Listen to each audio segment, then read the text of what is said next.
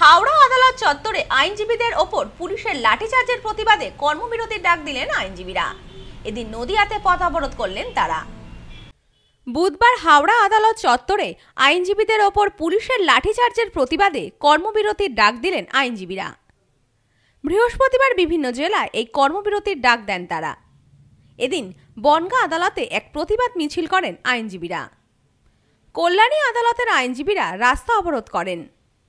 আদালতের সামনে প্রায় এক ঘণ্টা রাস্তা অবরোধ করে রাখেন তারা।